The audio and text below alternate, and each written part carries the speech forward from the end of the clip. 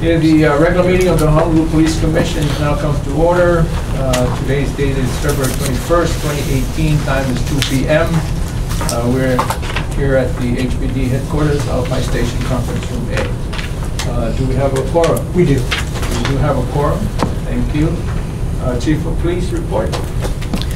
Um, Just real quick, uh, right up front, uh, the Cachola decision was dropped on my desk less than an hour ago, so I haven't had a chance to review the entire decision, Um, but there is a 45-day gag order on the decision, so no information can be made public um, for the next 45 days. So just to let you know that it did come down. Um, And now, with that, I'm going to turn it over to uh, um, Acting Major Aaron Takasaki Young, um, and he's going to be doing a general overview of our disciplinary process before we head into the legislative report. Um, Good afternoon, Commissioners and Chiefs. My name is Aaron Young. I'm currently the the acting major for the Professional Standards Office. And this this presentation is basically just a real brief overview regarding um, internal or administrative investigations um, that either the department investigates or HPC investigates and how this whole process works. Um, Until I was assigned to PSO when I was a lieutenant, I just had no clue. And so uh, when I went there for about nine months, it gave me a better understanding of how this whole process works. So hopefully, it's a quick um, process ex- explanation, and you guys can um, understand and digest it, and maybe you can take my place up there, and I'll do my job. But um, before we begin, how complaints are investigated are primarily of, of one of two ways, yeah? External complaints or internal complaints. When I talk about external complaints, and external complaints, like George knows, is um, anybody from the member of the public that wants to submit a notarized complaint can either come to the Honolulu Police Department or the Honolulu Police Commission. They'll get it notarized. Um, all, um, not all, but external complaints are the only type of complaints that the HPC um, investigates. Um, When I talk about internal complaints, internal complaints is basically if a department employee requests for an investigation, they'll write a two-front memorandum or report asking for this investigation regarding this administrative possible misconduct or wrongdoing. We also look at external complaints that does not meet the criteria that's investigated by the HPC. So to recap, there's only two ways, yeah, pretty much investigations are started. And that's either an external or internal complaint, yeah? So regarding HPC, HPC investigates in- internal, external complaints that are within 60 days of the alleged date of misconduct. Primarily, what the HPC looks at regarding misconduct is things as officer behavior, attitude. Um, good examples that I get all the time, or probably George knows, is you get stopped for a traffic violation. They said the officer was rude or overbearing. Normally, those type of complaints get forwarded to the HPC. If there's anything procedural um, in the complaint, procedural, I mean not officer wrongdoing, but it could be amongst our policy. Let's just say when you stop somebody during a traffic stop, you didn't um, inform the person um, the reason for the stop. You didn't use your blue lights or siren. Those type of procedural things, even if it's within 60 days, um, HPC will probably forward it to me, and it'll be investigated. So HPC, external complaints only, alleged incidents within 60 days, and the misconduct is primarily officer behavior or attitude. Yeah. Any questions on this at all? Is the uh, officer misconduct being uh, primarily behavioral or attitude, is that, um, is that in a law or rule or regulation? Or Is that Um, actually encoded? That's for our standards of conduct, Commissioner Sheehan, that would be a Article 8D standard or conduct towards the public. Yeah, so it'd be a more of an administrative issue. So is that, But, but is that in the policy, is what the question is? Is it part of your policy? Or, I'm just wondering, how, who, who decides our jurisdiction? what do you mean, like, Why they only get misconduct and not other things for say. Like, where does that- for that one, that one I'm not too sure yet, Commissioner Sheehan, yeah. Thanks. Yeah. The charter, the charter. City charter. Does anybody have any questions regarding this at all? No? Okay, moving forward. What does HPD investigate?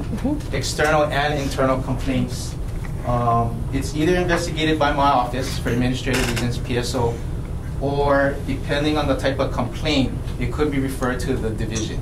Um, So your question is, what does a division investigate or versus what PSO investigates? PSO primarily investigate things that would possibly have serious alleged misconduct violations. Good examples are, um, unfortunately, you see news stories of officers getting arrested, that would be primarily PSO. I wouldn't send that down to a division, yeah? Things that a division would investigate could be um, the incident didn't occur within 60 days, officer attitude or misconduct, uh, um, poor, be- uh, poor judgment behavior, that would get sent down to the division. Um, if a person complained that the officer went to their call for service, didn't initiate or make a report, those things that the division can handle. But normal, yes. I'm sorry, does PSO, does violations, does that stay with you until resolution? But, um, With your, with, So in terms of when it stays with us in PSO, we investigate the whole entire incident. Right. Um, When it gets disposed of, we'll go through the next couple slides and we'll try to go through the chain of Okay. how it goes Okay, there, great. Thank you. Commissioner. Um, We also, PSO also investigates, PSO also investigates all HPC conversions. And what that means is, um, when you guys hear investigations completed by the investigators, and if you guys, if you guys decide this is a sustained allegation, and it meets one of you guys' criteria, and I believe per your rules and commission, um, there's charges of partiality, discourteous towards the public, overbearing, excessive force. That whole packet of report will get sent to my office. When I get it, what we have to do is convert what you guys sustain as the allegations into our department standards of conduct. So whatever you guys are sustaining in terms of the officer did or didn't do, we're going to convert that into our HPD standards of conduct. So PSO handles all HPC conversions. Any questions with this? Commissioner? Questions. Over the years, we've been trying to coordinate what is not sustained, what is sustained. I know that there is kind of, uh, it it doesn't mesh up, what we have doesn't mesh up with what you have. So Uh, I I know that at the last uh, uh, report from the executive director, that you guys are trying to do that. Are you any closer? Yeah, so I think your question is, you guys have, um, I guess, different charges, I would say, than what our SOCs or standards of conduct. So charges, I mean, like if you sustain an allegation that an officer was overbearing, your guys' HPC charge would be either overbearing, discourteous toward the public, and so forth, yeah? When I initially came over here back in December 24th, um, those are one of the things I looked at. When I looked at the wording of your guys' HPC charges, it pretty much mirrors or is similar to our wording and our standards of conduct. For instance, when you guys talk about partiality, the verbiage is pretty much similar to our standard of conduct regarding impartial attitude.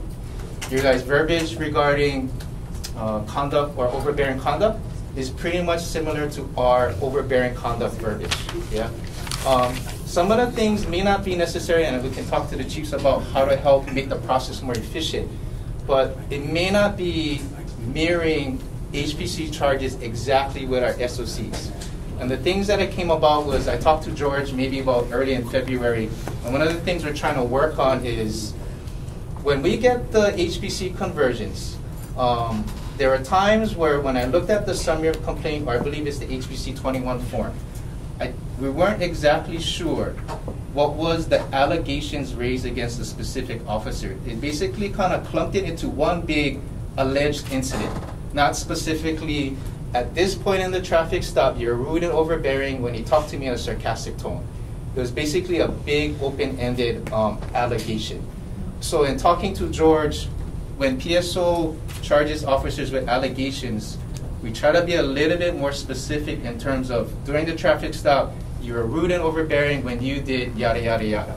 So after talking with George, those are some of the things we're trying to align. So if I kind of know what the allegation that you guys sustain and what is the connecting HPC policy or charge, that would help us streamline the process, Commissioner. Yeah. Along those lines, uh, Major, w- would it be helpful to you if our categories, you know, that, that we have, our, our, our menu of uh, potential forms of misconduct uh, that can result in a sustained complaint were harmonized with your, sta- with the department's standards of conduct so that we were comparing apples to apples. I would say not necessarily, because all I need to know is if we raise specific allegations, like allegation one, two, and three, if I just knew what allegation you sustained and what charge this applied to. Um, so if you said if they're, George, You're you're gonna see in the future cases, we already started doing it, they're gonna be bullets now. You're gonna see a bullet, that, that's what he wants, very specific allegation with a bullet. You'll see the scenario as to what happened, then below it, you'll say, the following are the allegations. You're gonna see a little bullet, and that's a very specific allegation that he's gonna use to convert. Yeah. You'll see it in future Yeah. cases. And so how, how that would help is if you if say say during the traffic stop you had five different allegations. Um, the officer was rude and discourteous, gave a sarcastic, sarcastic tone when they said this. They didn't tell me what happened. Um, they left abruptly and curt. You would have three different bulleted allegations, yeah. And all of that, if we kind of knew we sustain allegation one and two for this HPC charge, partiality, conduct to the public, yada yada yada. This one we didn't sustain. When I get it, I would kind of know what charge you sustain because that charge and the verbiage in the rules is basically the same or similar to our SOCs. So I think it's a matter of maybe not necessarily tweaking with, and that's my opinion. I mean, beyond my opinion is not necessarily tweaking the charge language, but rather making the allegations more clear and specific. Clarity. Clarity, We want correct. clarity. And my thinking is, you know, I was once an officer, you know, we've all made mistakes.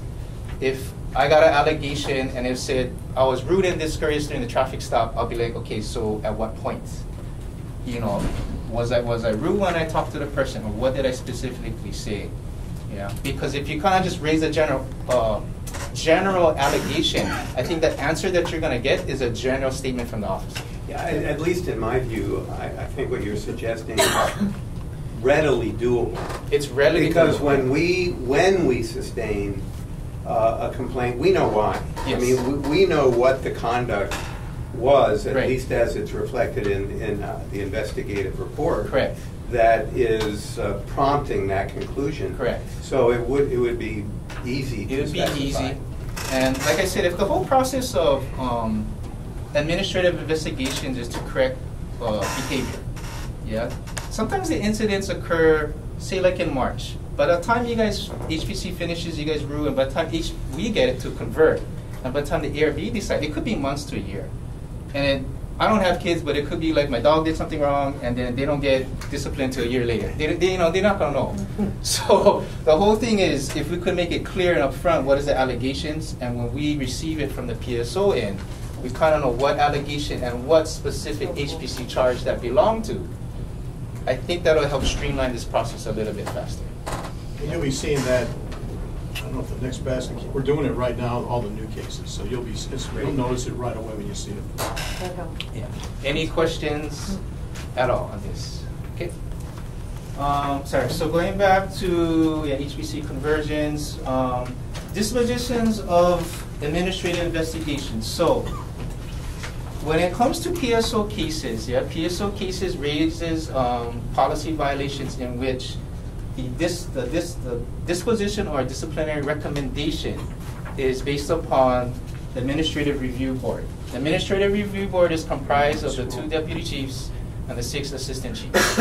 so anytime PSO does an investigation that warrants their decision-making, it's going to go up to the ARB for review and recommendation. ARB hearings are held twice a month, yeah. Um, out of the ARB reviews, they're gonna make a recommendation, whether it's but disciplinary action or not. And when I say disciplinary action, per the collective bargaining agreement, it's either written reprimands, suspensions, and discharge or termination. What, what are the other ones?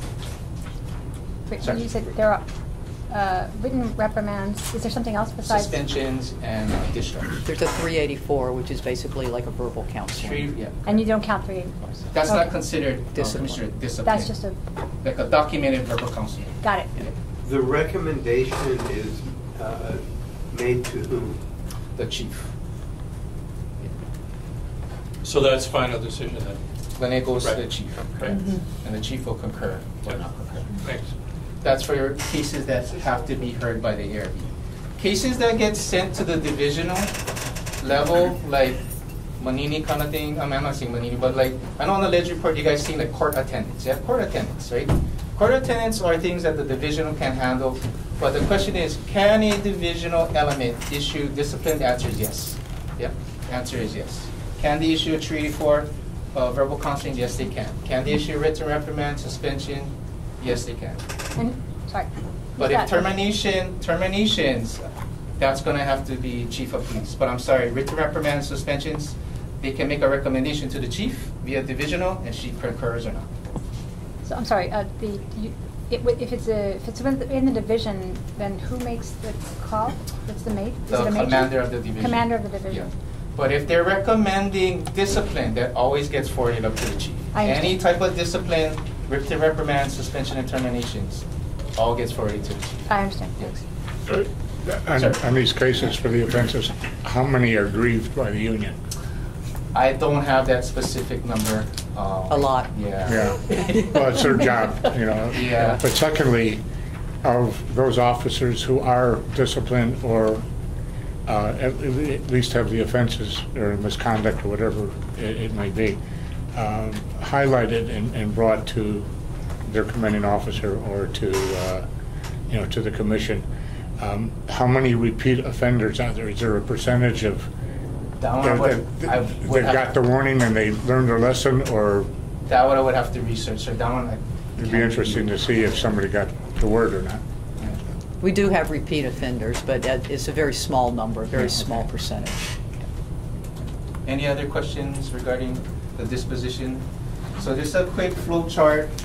Uh, HPC investigations, it starts with an external complaint, notarized statement. It goes to the HPC if it meets their purview. From there, if it gets sustained, it comes to PSO for the conversion.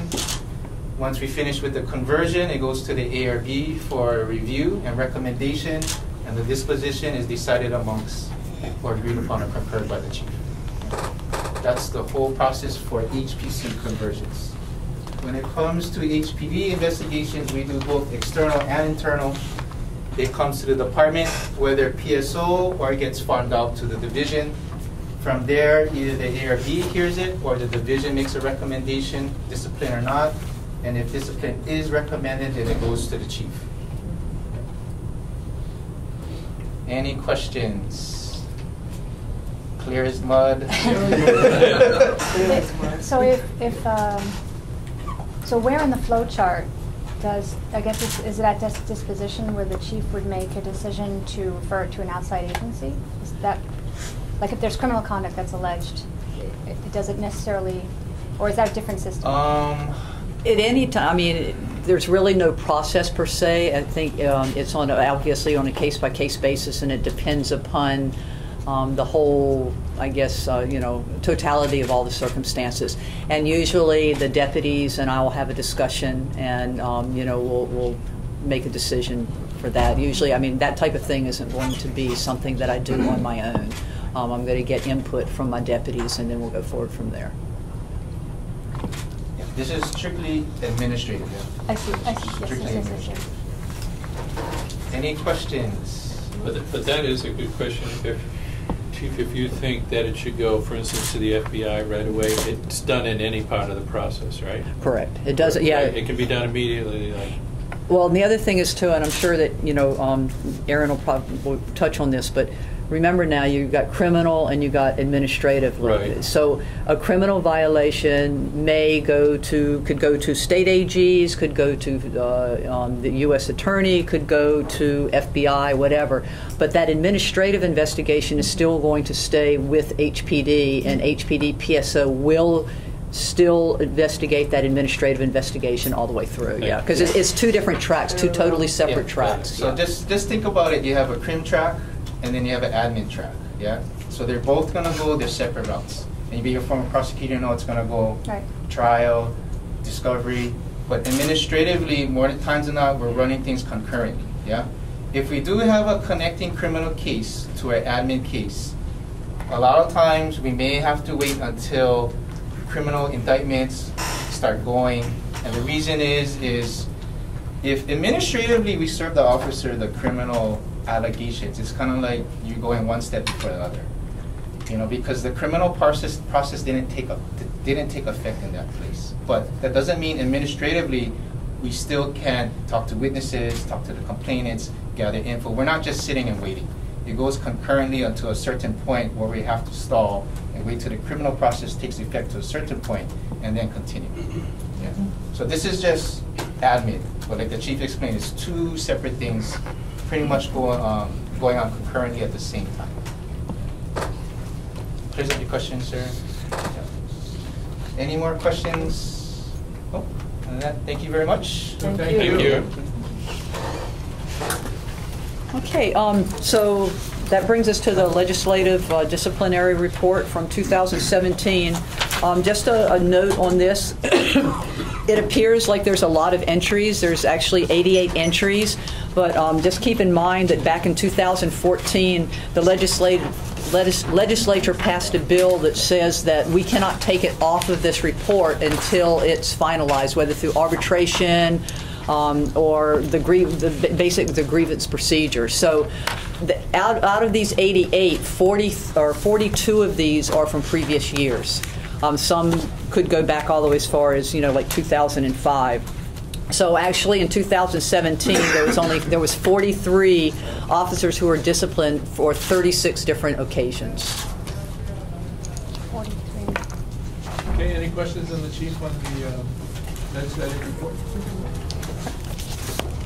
I guess part of the legislative report is how some of those bills that you folks are tracking. Yes, we do. Um, There's,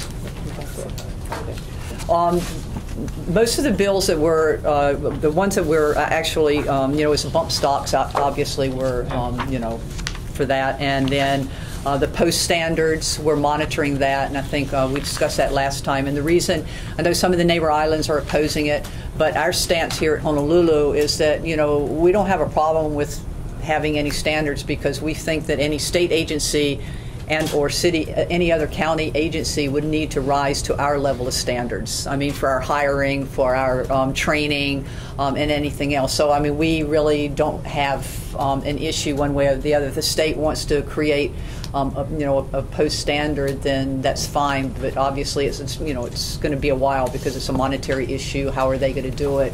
Especially when you have it statewide, or you going to have dorms. Where are you going to have the academies? Who's going to be teaching? I mean, there's going to be a lot of issues, um, and that falls with the with the state at that point in time. Um, obviously, the medical marijuana, we're opposed to um, allowing officers to partake in medical marijuana while they're on duty. Obviously, we don't want that. I don't think anybody would want an officer coming to their house or making an arrest or using deadly force that might be under the influence of, of marijuana. Um, uh, that's, I think that's, there- I'm probably missing a few. We have, yeah, we're actually, uh, yeah, so um, if you have any questions on any of them. No, you more- you had, the the last time you had the uh, printout. Uh, Right. Can you kind of keep us abreast on? Sure, uh, yeah, uh, yeah. Update, I know, I know it it moves mile a minute up there at this point in time, so yeah. uh, we appreciate it. Yeah. Uh, Commissioner Levinson? Yeah, I know that the, uh, that House Bill 2071, which would establish a law enforcement standards board, is having its third committee hearing tomorrow. Um, Does the department intend formally to take a position on the bill? No, we're not either opposing it nor are we uh, supporting it. We're just, whatever they come out with is we'll- what we'll abide by. Because we don't see that it's going to have any, uh, really any effect on us, um, on the Honolulu Police Department. I mean, this is a state function, yeah, so um, the, uh, I I think it would probably have more effect on the other state agencies, um, depending on, because we're not going to lower our standards to, uh, as far as our training standards or our testing standards. Um, So um, I I think that, like I said, it's going to have the least, and I I really can't see any effect that it'll have on us. It may lower standards for everybody else, but we will still abide by the standards. Because the way it's set up on the mainland is that you have like a post academy where you go and you pretty much learn like generic type of things, yeah. Um, and then you, at that point, can go to whatever city that you're going to be hiring at, and then you learn their uh, policies, procedures, any specific um, laws that may apply to that city. And so for us, I mean, if they have a post, then that's fine. But then when they come to the Honolulu Police Department, it's not like we would do away with our academy. We would still have to have an academy because we would need to train them at that point in time. If it means that they have to have additional training for use of force, or they have to have additional training for um, specific policies and procedures of the Honolulu Police Department, then that way, I mean, basically what it would do is it would shorten the academy that we would have um, and would probably assist us in that way. Um, but uh, other than that, I don't see any effect, um, any ill effects that it'll have on, on us.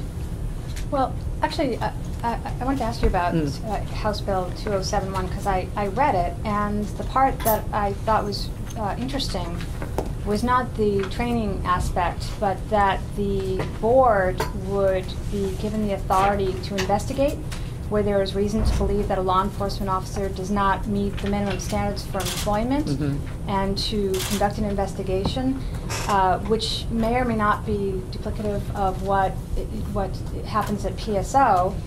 Um, and it may be a good thing that there could be an outside agency doing the investigation of HP officers, or a a bad thing, I'm not really sure. And the second thing that I wanted to talk with you about is the, the concept that this board, this state board, would have the authority to establish procedures and criteria for the revocation of certification issued by this board. So there would be a state agency with administrative rulemaking authority under Chapter 91 that could fire HPD officers, essentially. Could say, you don't meet the standards for certification anymore, leave. And would that be uh, disruptive to HPD? Would that be a problem with the collective bargaining agreement? It could possibly be with the collective bargaining agreement because they, but, but I think it's separate from that because now that what they would basically do is would de- decertify the officer. So the officer would no longer be certified to be a police officer in any state agency or city and county agency. But that is after the, um, the, the investigation is done. Usually, like I said, based on, and they're basing everything on the mainland. Um, and the way that they do it on the mainland is if that police department determines that um, the officer is based on their whatever is going to be terminated, then they can then submit that name and to have it decertified and put on the decertification database. No, I, I- yes, I, I appreciate that, but, but here's the scenario that I was thinking of. Under this law, would it be possible that an officer could uh, engage in misconduct, that um, the PSO could uh, affirm that misconduct, that the Administrative Review Board could again say this officer is engaged in misconduct, that the chief could then say this officer engaged in misconduct, an arbitrator reversed that decision, could then this statewide board step in, conduct their own investigation, and say, we don't care about all that past history. You don't meet certification, you're gone. Could they do that? That, I, I don't know. I can't answer that question. I don't, because, yeah, I don't know I- I how think the once is it- set up. Once it goes to arbitration, uh, Yeah. if, if the arbitrator uh, rules in favor of whichever party, then they can go to court. In in my case, we're dealing with unions, Yes. and that's where the arbitration comes in. But here's what would be a state law. Wouldn't that trump the uh, collective bargaining agreement? And they can still, so you know that. Is anybody- Of course. I'm not- I'm not a labor lawyer, but- One but at it a is time. my understanding that uh, um, any provision of a collective bargaining agreement that is in derogation of state law is void. Um, The, the proposed bill on its face says that it it doesn't affect rights that have already vested. Mhm. Uh, I think that's a retroactivity, prospectivity issue um, that I imagine was of, of interest to the uh, union. yeah.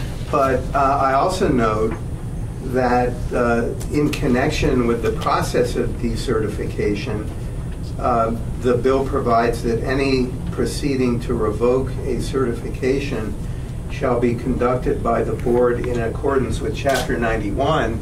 And that raised the question in my mind, since that's where contested case hearings live in Chapter 91, um, whether uh, an officer um, whose certification was revoked could then request a contested case hearing uh, in, in the manner that that happens uh, before us, uh, and ultimately have the issue resolved that way too. I'm not sure what, what they intend by that. And I think- It could very well in- involve contested Yeah, cases. yeah.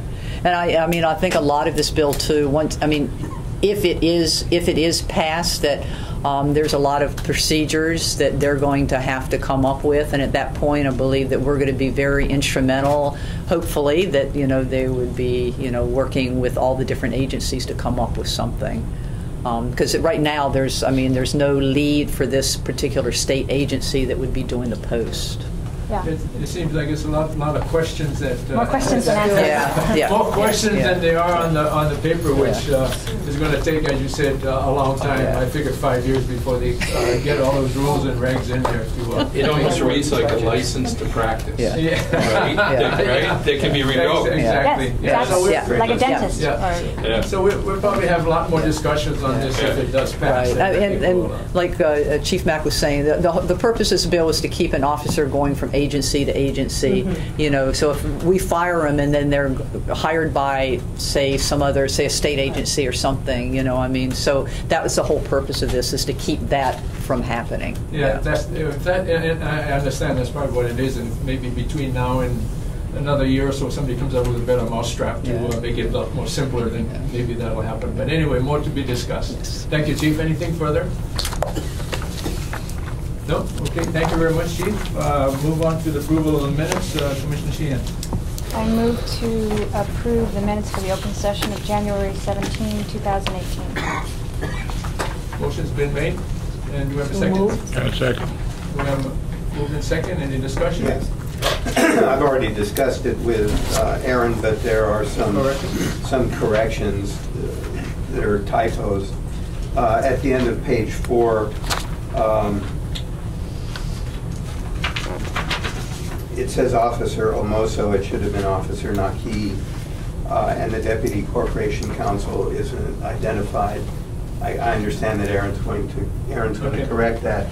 And then at, uh, in the second paragraph on page five, again, uh, or the second item on page five, again, the identity of the Deputy Corporation Counsel needs to be reflected, and she's going to insert that. I believe it was Mr. Nomura. Okay. All right, any other corrections? All right, yeah, hearing none, no more further discussions. All those in favor say aye. Aye. Those opposed, thank you. Uh, Now we move on to uh, public testimony. We have two uh, signed up. Uh, The first is uh, Colonel John Bates. Sir, Uh, As a reminder, Colonel, you have three minutes to, uh, on your, I will make it. okay, Um, thank you. Good If you- If you want to, you can have a seat. I'm sorry, see? If you, yeah, if you want, I- yes, yeah.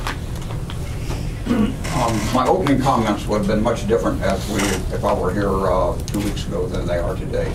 Uh, Today, as I'm sure you're aware of the uh, the Parkland massacre, uh, just this time yesterday, I was teaching uh, Mrs. O'Kelly's class at uh, Sacred Hearts Academy down by Waialae. I do a lot of public speaking with the schools.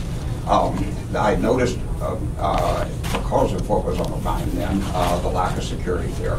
Uh, and I hope that you do too. I've, uh, I've had a chance to uh, speak at uh, Radford High School, at um, uh, Campbell High School, Punahou, and uh, all of these are, because of the fact they are different, what, what, I'm, what I want to say, because I know I'm already pushing for time, is the fact that we need security plans, and all of them have to be individually tailored for that. Um, that was horrible, horrible, and preventable, what happened in, down in Parkland High School. Um, I'm offering my services. I've been a security guy all my life.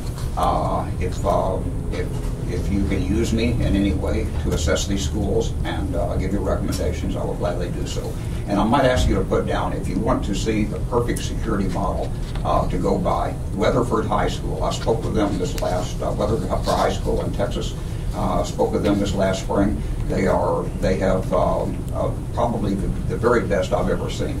Okay, break, break, I'm back to why I'm here today. Uh, Somewhat out of frustration, but I've served 33 years on active duty in the United States Marine Corps. Six of those last years, uh, I specifically was in anti-terrorism and um, uh, force protection. Uh, My mission in life then was to locate, fix, and destroy very, very evil people. Those people uh, would like to kill me. Uh, They would kill anybody that they, possible, uh, that would get in the way to keep them from doing so. I was very disappointed when I received from the Department of Defense a notice that every one of mine and about uh, at least 1,200 in- in- of uh, those uh, dealing like I did, like myself, all of our records were hacked. And whether they were hacked, they supposed at the time they were by the Chinese because they've been given, sold, traded, or whatever. I don't know. But I know the understanding of the power of firearms. I'm probably um, the only one in this room that has been almost killed by a firearm. I was shot in the chest and through my right lung and out the back. I expected to bleed out before I got to the hospital. So I don't take firearms uh, lightly at all.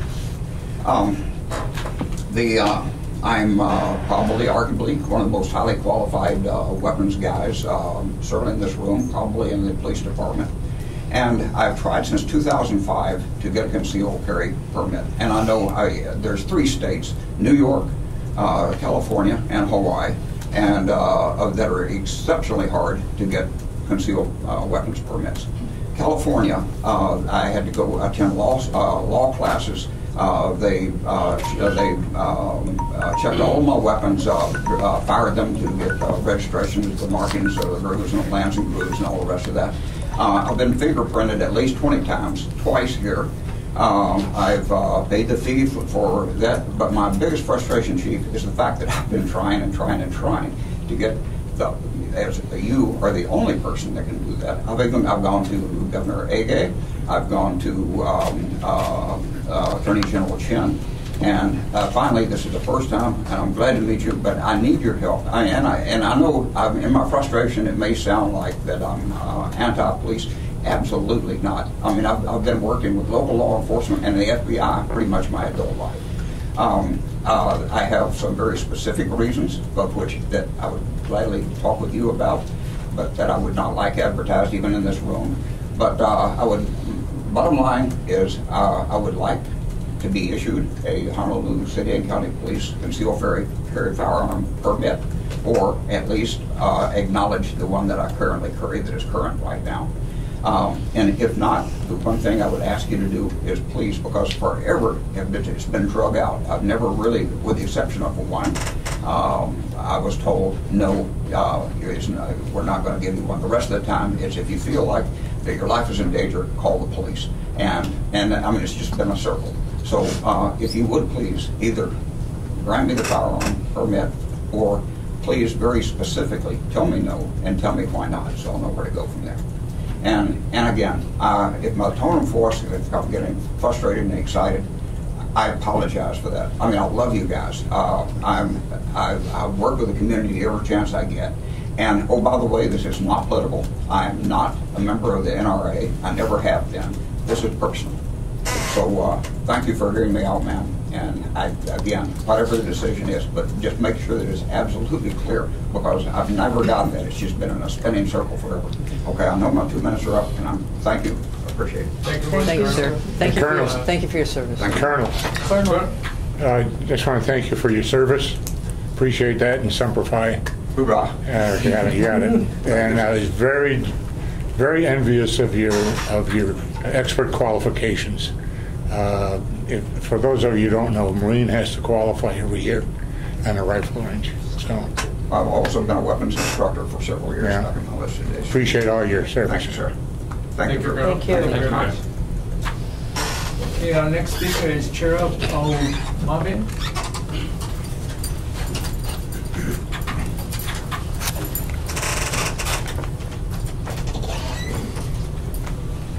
As a reminder, uh, you have three minutes.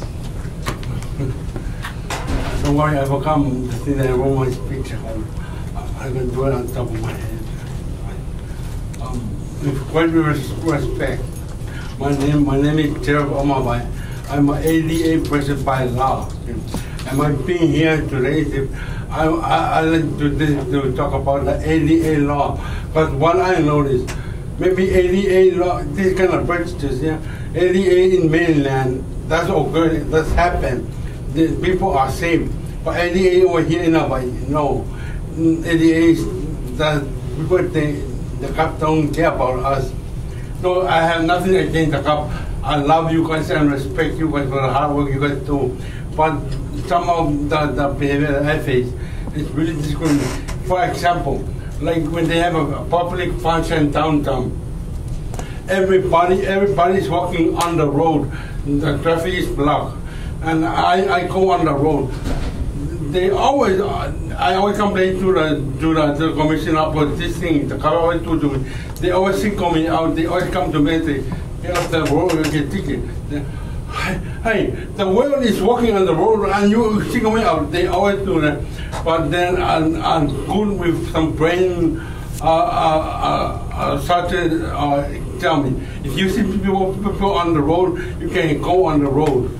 So they, they, they will let me go. The other, the other thing, because I've come and speak I was assaulted um, last month right by the side of the police station downtown. No, I didn't know what a maze is, but this crazy, because an attorney was involved too, who came to my, my aid. I, I, I was, he just he was talking to himself. He just bent down and grabbed the maze and made me. I just said, "You cannot follow a black man's back." But what, he does he say? Everybody's walking in that direction. Then I got I, I got her, uh, and I want answer and I want now and please, I want you guys say you guys are investigating. Up to the, the, the I wonder am I going to be investigated because I didn't deserve to be spraying on the road on my wheelchair. I just see that he was spraying all over. I didn't know what a maze is. He was spraying all over my face. I was burned like uh, two hours at the. I couldn't open my eyes. You know. Then um, I, it takes, but no, and. Uh, no one, no one street, and the police station downtown. The people came to my aid, and then they come to the police station. Was right beside the, the other side of the, street, of the police station. But it takes them one hour and 50 minutes before the first police come come to help me. Then the, the, the police was very good. Then, then, and the, and uh, and my dad, the, the ambulance, they they take the oath to go out. It meant their life. But the, the, the guy who come to me, he said, I gotta take this slow, I gotta slow because if I slip and fall, break my leg, then it's gonna get more worse. And I said, yeah, go, go. No, I don't need, we're in trouble. All of us need, but you gotta be a quiet baby on a 911 call. That is why he take the oath, to, to help people, even if meant to take the guy's life. But don't come and cry baby. Like, did I tell him to come break your leg come to No, I, the people call 911 to come to my house. I need help. I, I got mates. Um, but the, the, it was, I need to know the answer right now, and I needed to know.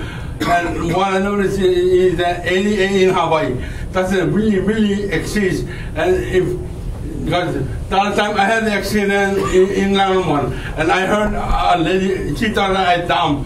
She thought, she, she, she, she the yes, that's that guy, that's that guy. He always take us to the commissioner.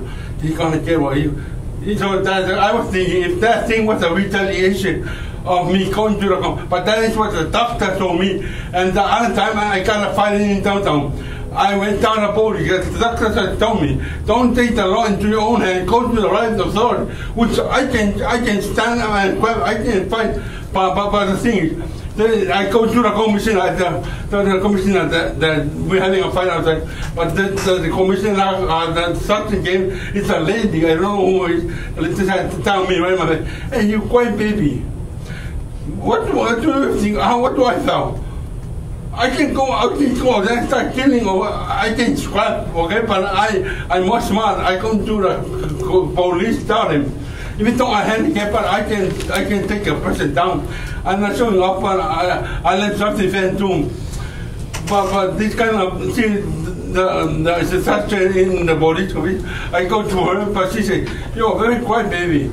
And the lady in Alma said that, I'm gonna care about, about what you always come down to the commissioner. The reason why I do go to the right authority, that is what I've been taught by my doctor, anger management. They because for seven, seven or eight years, I was in hospital for, for my anger because I had an actually, I got my brain and my, I got a head trauma. So I was very violent, body kind of healer. And that's the thing I face trauma I face every day. When somebody take advantage of a child, you a lady, I, I, I don't care. I will, the, your problem is my problem. But I go to the right people, they tell me I'm quite baby. So if I saw anybody and they, will, uh, thank you. That, Mr. and I, I you guys to do some sort of ADA law, please. Maybe they don't understand. Mr. Omarbat, um, excuse me if you don't mind. Uh, if I go for fa fa sa mo lo lo lo lo mga okay fa English. English na nga, um, um, um, I'm a loud guy, very loud. That's what my No, no, no, no, I, I, I, No, no. Eh, mam mo wala le le le me le le chief e fai wala no wala no mga. Uh, oh, this uh, the, the officer about ADA law, and you guys, and then for and the other thing about the attorney, ADA they, they are doing it to for their for their benefit, but not to benefit me. Yeah, apa mo sa bango e local ngo ma chief. Okay. E kim ngo sa bango kal ngo ma chief. Oh, my. Ha? Pe o mo le pe o mo fongo.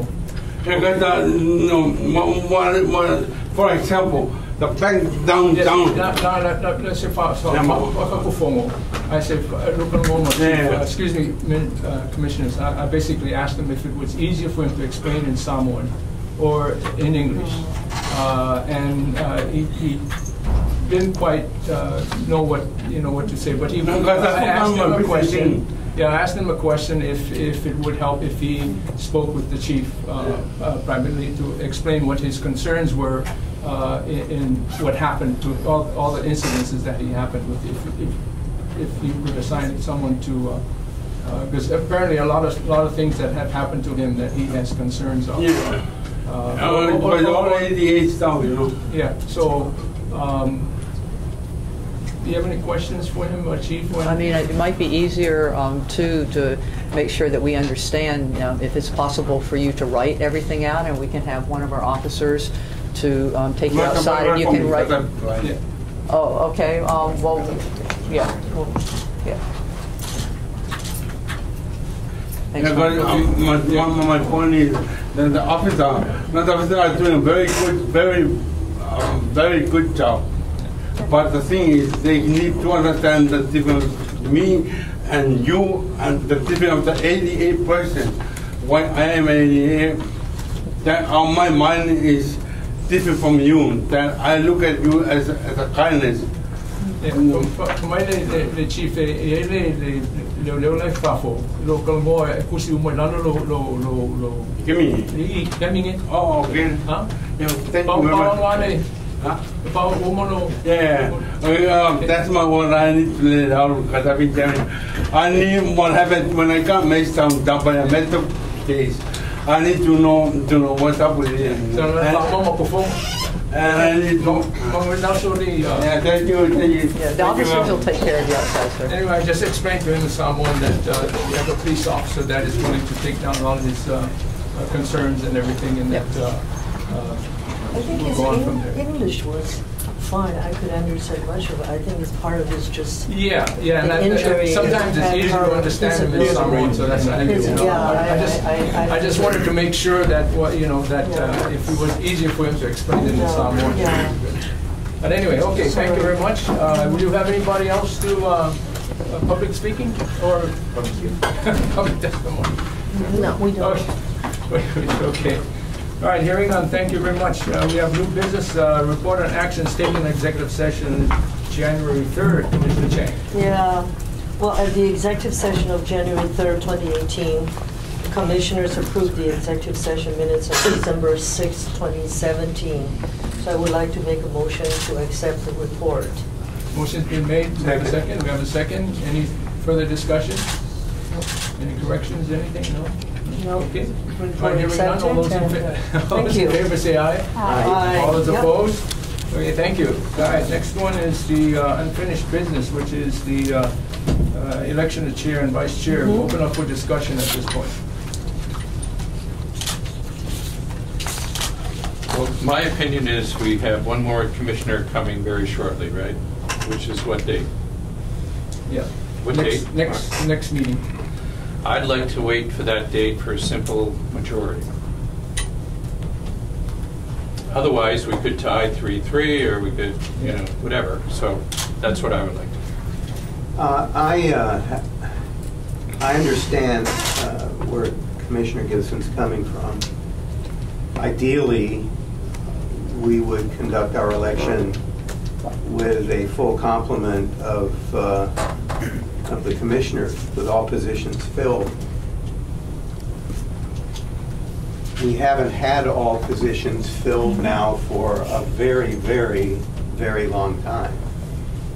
Um, the last election was in December of 2016. I voted in it. It was my first meeting. Um, I voted, eh, I knew in advance who the new chair was going to be. Uh, And that was that. Um, we now have six out of seven. In order for the commission to take action, four votes are required. In other words, it takes four votes for a candidate to elect. I think the probability that um, there would be four votes for a single person um, at this meeting is fairly great. Uh, I think we simply can't afford uh, to delay what ought to have happened three months ago anymore. The worst case scenario, uh, if we go forward today, is that the vote is split three to three. In the event that the vote is split three to three, the commission will not have taken action pursuant to chapter, I think it's, it's either 91 or 92, I forget which. In any event, uh, a majority of the, of the authorized roster of a Board of Commission is necessary in order for it to take any action. Um, If that were to happen, um, the chair would not have been replaced, and under the charter, he would continue to be the chair until he was replaced. We would then have another election at the next meeting, uh, at which time, if all seven of us attend, and there's always the risk that seven of us will not be in attendance, that's not uncommon, um, there would be a definitive result. But I think the odds are, are substantial that there will be a definitive result today. Uh, As much as I uh, look forward to Commissioner Alivado's arrival, and I'm confident that she's going to make a substantial contribution to this commission, uh, I don't think there is much marginal utility in waiting for her attendance at her first meeting uh, in a, in an informational vacuum to conduct the election. So I would like to see us go forward. Any further comments? Uh, I, um, I second what um, Commissioner Levinson said. I, I think that it's awkward uh, for the new commissioner to vote the first meeting that she attended. And I can speak from my own personal experience. I think I, I have, um, I had my own uh, opinion and, and, and observations about the police commissioner before um, I joined the commission. I've had, uh, I've had a lot to learn and a learning curve in five meetings. And I'm, I've been thinking about this a lot, and I really believe that um, organizations that performs very well, the um, uh, high performance organizations, certain, you know, factors and, and, and in it, leadership strategy, their ability to execute and so forth. But I think it is the desire and with the purpose to change and renewal of the organization, make certain unit perform well than others and much more sustainable. And so I think I'm, I'm, I'm at a place that I believe if we understand why the change is necessary and, and, and appropriate, and um, and understand that change with a purpose is is progress. Change without a purpose then is chaos. And I think this commission and all the other commissions served before us has done well under the circumstances back when certain things need to be handled. But at this point in time, we have a new police chief who's done a great job and put in tremendous amount of energy, fresh approach, um, almost reinventing, I don't know, or, you know, certainly the police department. And I think for us, the commissioners, uh, there are certain expectations that um, a vision and um, to serve and, and get to the next level is necessary. We can wait, but then half the year is almost gone. There are a lot of things I think we like to do. We talked about in last meetings to be more proactive, reach out to the commissioners and all of that. And the other thing that concerns me is that we need to figure out a way to get out of the Kealoha umbrella. You know, the other shoe hasn't dropped yet, and it will. And uh, we're all commission new, pretty much new, you know, on this and, and, and on this board.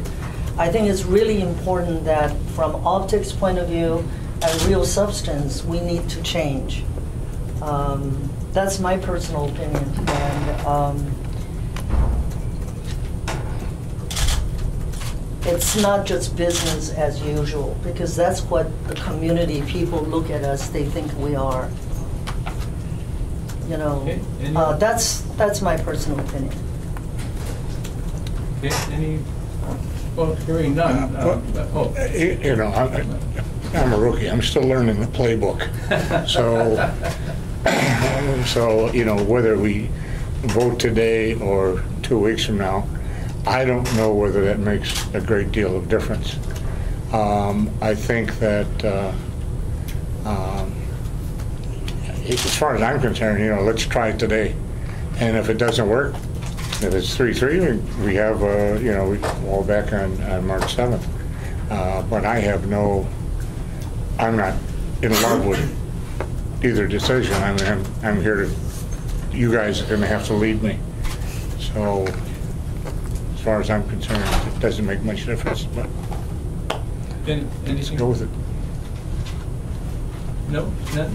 Well, I just have a few talking points, a few points. One is that, um, you know, over the last year, we've talked about being inclusive. We talked about being transparent and all that good stuff that goes along with it. Uh, So uh, why am- are we not including the seventh member? Uh, You know, we want to be uh, as a group, so I, we need to include the seventh member. Um, and also, since the the seventh member has to live with whoever is going to be the chair for the next nine months, um, don't you think that, uh, that member needs to have a say in, in the vote, whether yes or no? Um, And she'll be here in a short two weeks. Uh, That, that two weeks come and go really fast. Uh, Postponing until the next meeting will allow all commissioners to participate. And so, uh, at this point in juncture in time, we don't have any crit- critical or urgent matters uh, over the next two weeks. And, uh, you know, whoever's going to be the chair in two weeks uh, will, we'll at least have the uh, vote of uh, the, the whole commission. And hopefully whoever that is gets the full support of all, all seven members, all six of us going to vote for the, the chair. And I, I just think that including the seventh member, I think will uh, make it even more, uh, uh, shall we say, uh, solid in terms of the commission. So I, I, I would strongly recommend we, uh, it's in two short weeks, we'll be there. Well- And, uh, So the other, is not a the other thing is, how many, transaction. how many I'm- people are gonna run? Right, I'm I'd not gonna run. defer, because this is not a transaction, a vote and a vote. It's gonna take somebody at least four or five meetings to catch up and understand the historical, institutional history and background, and I've spent a lot of time reading, talking to people, and in all fairness, in order for her her vote to be meaningful and not just a transaction, then in all fairness, we should just give her another four or five meeting time to learn. Honestly, I'm not so. no, I- I- So I- it- I know- for somebody to show up first meeting and say we're going to vote is is unreasonable. That's not even fair to her. If you asked me to do that first meeting, when I came over, I said, "Oh no, I, I have no idea what to do or how to vote." So I just think that actually timing is important because there are certain expectations of this group that we perform and there is a purpose. Unless we believe there is no reason to change, then we shouldn't even vote. We should just stay stay status quo. So we're satisfied that status quo is acceptable, then why are we even talking about this? That's my point of view. From what I understand, thanks to uh, Civil Beat, uh, televi, or streams, I guess is what they're called, uh, the the meetings, the last three, uh, two, two months of meetings. Uh-huh. Uh, From what I understand, she's been following along, uh, according to uh, uh, council members, that when I had the meeting with a couple of them this past week uh, regarding the issues that we talked about, uh, uh, connecting up with the council. And so uh, she's been following it along, and uh, I I haven't spoken to her in terms of, uh, uh, you know, voting one way or the other. But I- I- my feeling is that uh, for us to be a complete commission, I- thoroughly believe that two two weeks is short, and to have all seven of us participate, I believe is is is is- is a good way to do it. Well, I'm gonna jump in here because maybe the colonel is the only one that'll understand me, but I was taught a long time ago, see a hill, take a hill. And, uh, and so, you know, it's before us right now. Let's, let's, let's do it. Unless someone else has something to say, I make a motion, take the vote today. Okay, motion's made and second. Any further Second. discussion? Okay, hearing none. Uh, All those in favor of uh, moving on for today, uh, raise your hands. All right? Okay? Uh, Thank you. Uh, So I guess we'll be open for, um, for nominations. Jerry? Nominate um, Commissioner Sword. Um, Thank you. But before anybody seconds it, let me, let me just say something.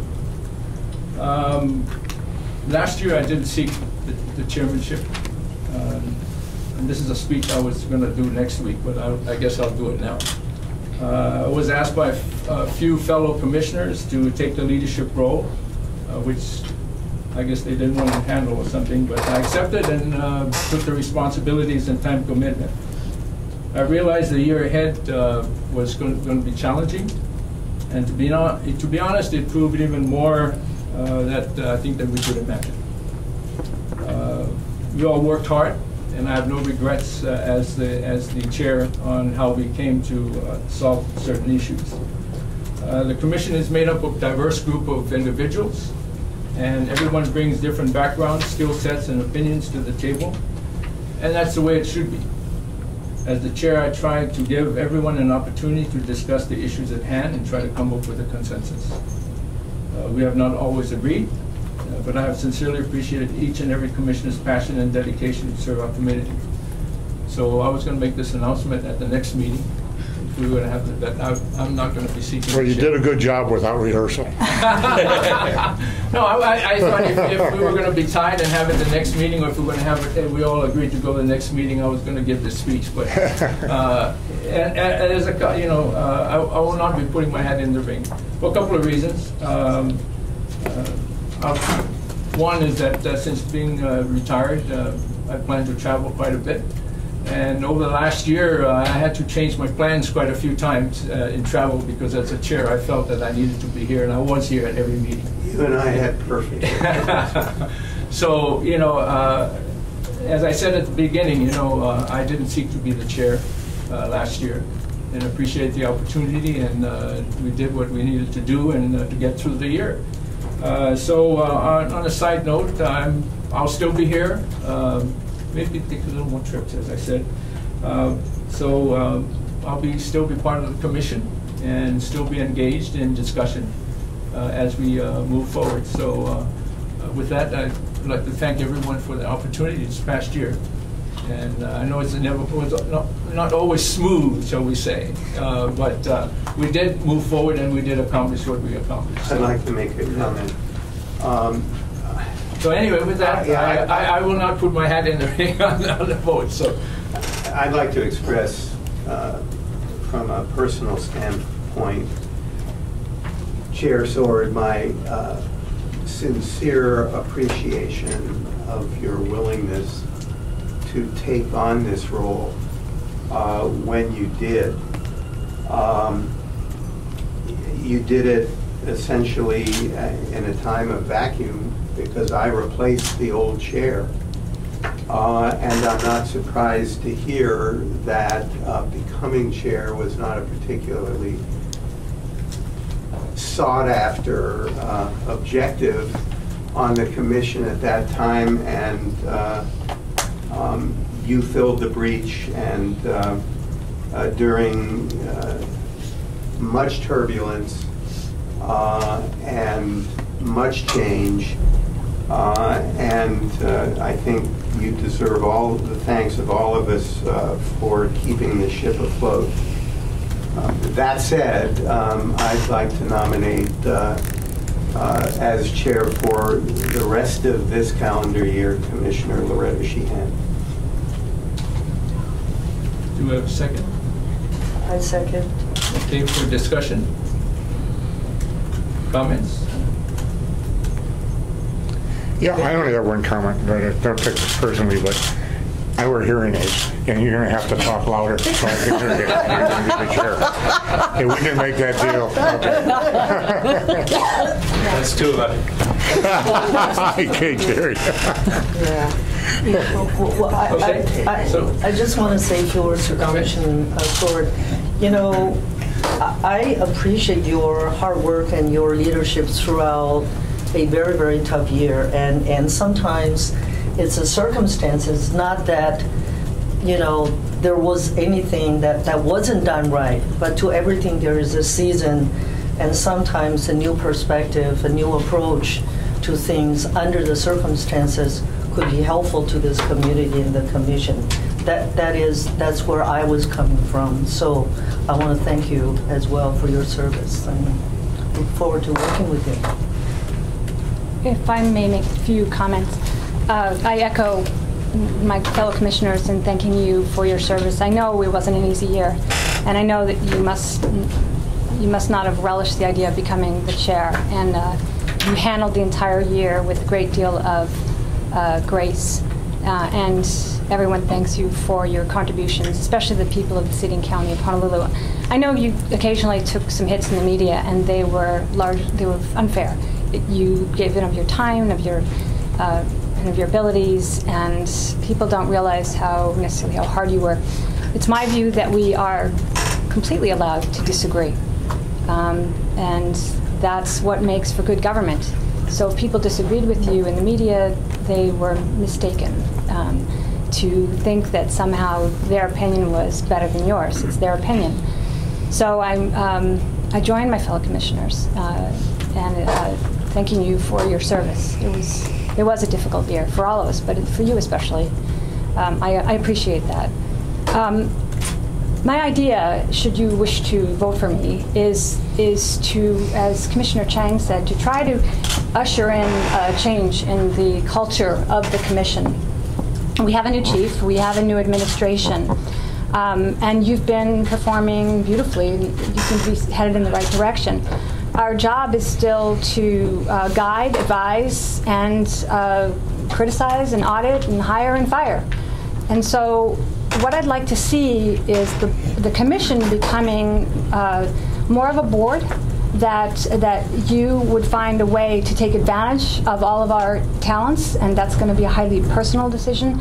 Uh, one of the things, for example, we talked about last meeting was the idea of Commissioner Chang just having an afternoon with the major who's in charge of finance to say, so how do you guys do your budgets? Do you just tweak last year's numbers, or do you a zero sum? Do you do a bottoms up analysis? Um, or for her to possibly take a look at um, this body camera issue. And is, at the end of the day, is it going to be financially responsible for us to be pursuing this project? Um, we shouldn't ever do things just because it sounds good. Um, other areas, as I mentioned, everybody in this room has an expertise. Uh, Chair Sword has an expertise in the legislature, in, in uh, being a liaison with City Council. Commissioner Levinson is obviously a legal expert. Um, Commissioner Gibson obviously knows the visitor industry inside and out, and we have to be very concerned about criminal activity that affects our, our state's lifeline. Um, Commissioner uh, Grimm obviously uh, has a deep background in um, media training and presenting things to the media.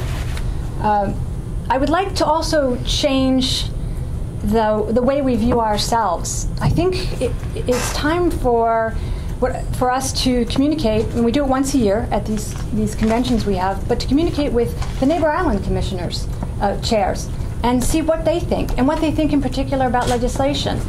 I think that we should have a discussion about whether we want to or whether we're ready to support a bill such as House Bill 2071. I think we should have a discussion about our presence at the City Council and whether we feel it's appropriate for the selection of the the chief or the firing of the chief to be put in the hands of the city council as opposed to with the people, the people who actually pay for the police department. Um, I, I, um, I want to initiate a governance that's more disciplined. I want to improve our, uh, our our investigations. I think there's a lot of room for improvement there. Um, and and lastly, I, I want to be clear. I'm I, I don't I don't want to be the only person speaking for this commission. I, I'm not going to, and I don't. This is not a criticism of the way past chairs have done it. I appreciate the, the concept of talking with, only one person talking and running out there on Beretania Street to answer media questions. But my thought is it'd be far more useful for the, for the community, for the people we serve, if there's questions that the media has, at the end of the open session, they should be asked right here, and they should be directed at any commissioner you want to talk to. And it, and it should be, there should be no hesitation in asking questions. Because, as I said, we are allowed to disagree. We are allowed to have differences of opinion. Because what, what unites us all in this room is that we want the best police department in the country. And we want to provide it with the resources and the support and the guidance and the criticism if need be to keep it that way. So that would be that's my vision, and uh, I humbly ask for your vote. Long vision. okay, any other comments or discussion? All right, hearing none. Uh, all those in favor, raise your hands, and uh, for uh, uh, Commissioner Sheehan to be uh, chair. Thank you. Okay. Okay. Thank you. Now uh, I think you. we need a vice chair. I would like to nominate uh, Chair, uh, rather, sorry, I would like to nominate Commissioner uh, Levinson to be my vice chair. I, let's speak, speak bluntly. I've heard the criticism, and I appreciate it that uh, the lawyers are going to take over, and we will sit here endlessly talking about how many angels dance on the head of a pin and where that is in subsection E. Point two of the statute or the revised ordinance, and I. I gotta remember that one. And that that is a well-deserved criticism because um, Steve and I can get really lost in the minutia. I think it has its role, and I think it's really important. And I think Commissioner Levinson's done a wonderful job uh, on revising Rule 10 and 11. They may or may not agree with us, and Donna Leong might not agree with us, but so be it. They're allowed to disagree. Um, so I, uh, however, I just think uh, Commissioner Levinson is one of the smartest people I've ever met. Um, He's also um, uh, very dedicated, uh, has, has, is a willingness to devote time, cares very much about the police department, has endless curiosity, which is something, the thing I really appreciate about him. And he's really fun to be with. So I would very much appreciate, and I will nominate uh, Commissioner Levinson to be my vice chair. Hoping for a second from somebody. Second. Second. Too late, he's a second. Uh, Okay, well, for, um, motion and a second, uh, do- open for discussion?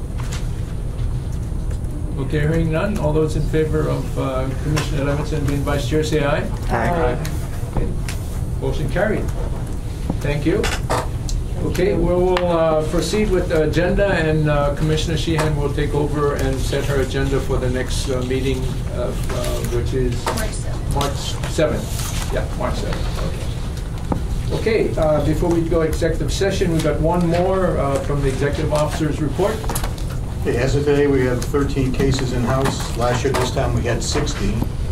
We have 10 pending, five were sent to PSO, and one was closed by PSR. We have six pending requests for legal counsel right now.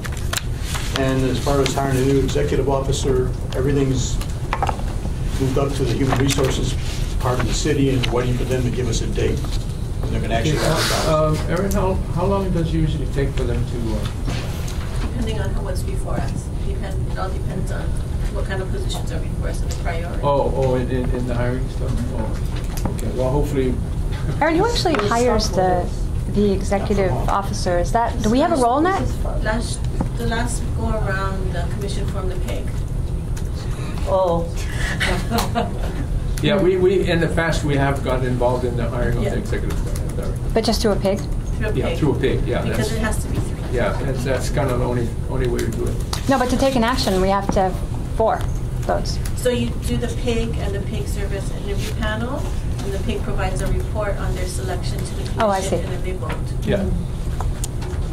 How many candidates have you had in the past? Uh, I think last time we had about 12, Ah, more or And- less. Yeah, and before that, we did have a, a good number as well. One of the delays is when human resources gets the applications, it goes from, that's really gonna delay it. That's Yeah, one of the yeah, big delays. yeah. The venue Hey, takes a while. Well, Yeah. no, we- you'll be doing the interviews. Oh, I see. They have to qualify them Oh, based on the right, screening applications. and, The uh, screen, it takes, Right. Yeah, they have to again, depending on who's ahead of us. Yeah, they have to vet uh, candidates and then we get to uh, right, right. choose. okay. Having done that four times already. Okay.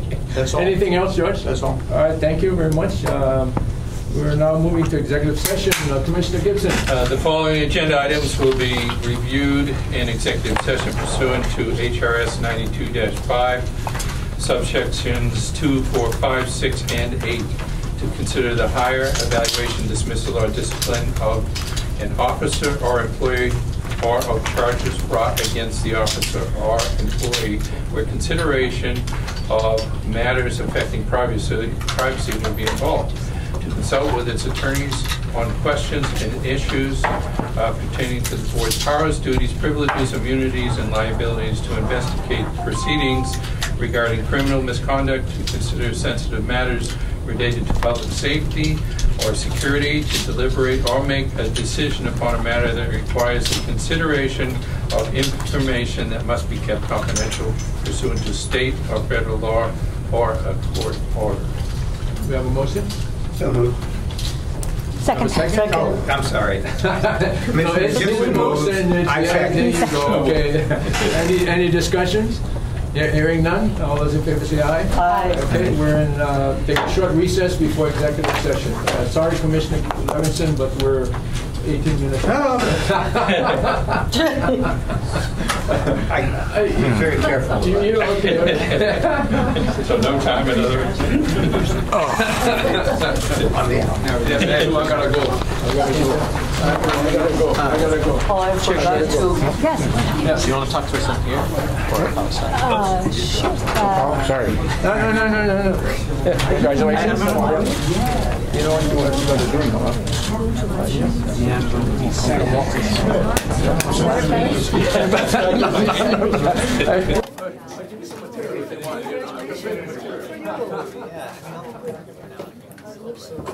Ready? Oh, good, good, good. Oh, good, you turned it. Yeah, yeah. Oh, good. You know, the thing is,